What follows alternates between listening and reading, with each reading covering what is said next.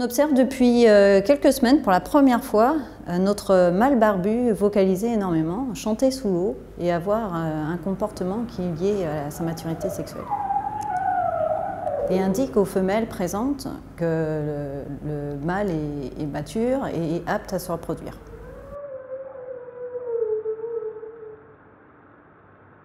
au moment où l'animal chante dans le bassin, notre femelle n'est pas forcément très réactive. Elle continue à nager tranquillement.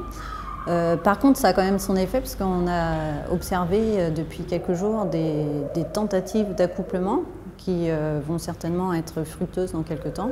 En fait, il a vraiment un comportement stéréotypé quand il chante. C'est-à-dire qu'il va monter en surface, il va se laisser replonger, où là, il va, il va souffler, hein, grâce au larynx, il va pouvoir émettre différents types de sons, et il est aussi capable de faire des bulles, il va souffler hein, pour effectivement attirer aussi les femelles. On a deux types de comportements notre mâle est suivi depuis plusieurs années hein, euh, avec notre vétérinaire pour savoir à quel moment il va arriver à maturité sexuelle.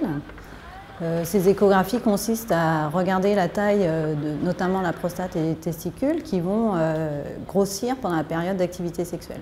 Donc tous les 15 jours, il a le droit à sa petite échographie. Quand, on circule dans le pavillon polaire, on peut observer ce comportement de notre mâle et surtout l'entendre, puisque les sons traversent la vitre sans problème.